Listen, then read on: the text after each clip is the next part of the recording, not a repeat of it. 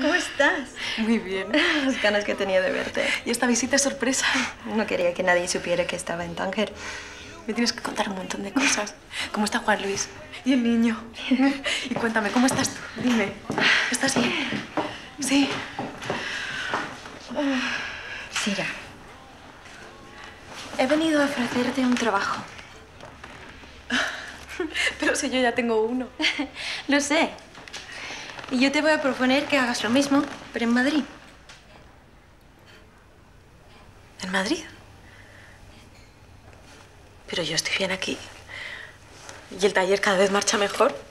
Además, mi madre está contentísima. No hablo de tu madre, hablo de ti. Y no haría falta cerrar el taller en Tetuán. Seguramente se trataría de algo profesional. Cuando terminara todo, podrías regresar. ¿Cuándo terminará qué? La guerra.